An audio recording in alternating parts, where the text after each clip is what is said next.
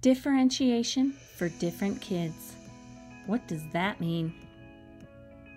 Every classroom teacher is familiar with the challenge of engaging so many unique individuals towards the same goal at the same time. It can feel impossible to get them all focused and moving in the same direction. This is where differentiation comes in.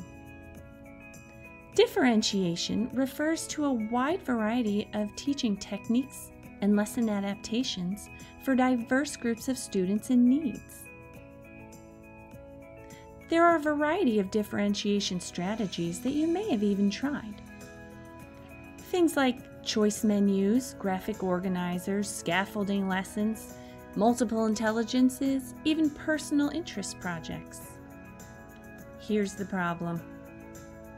Some of these strategies can be very time consuming and diverge from the original content standard. You can spend hours planning and grading activities that just don't support targeted student growth. So, how do we avoid these pitfalls? A new strategy. Allow your students to hit the target gradually with a series of logical steps toward mastery. Back in 2009, Marzano and Haystead compiled a synthesis of studies on instructional strategies.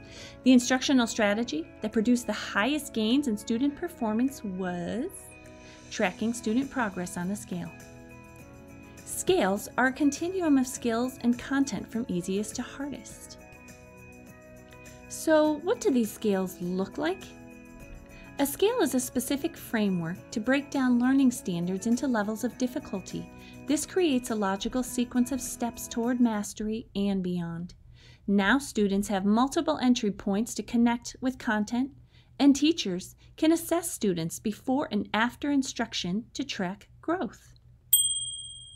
Let's see a more specific example.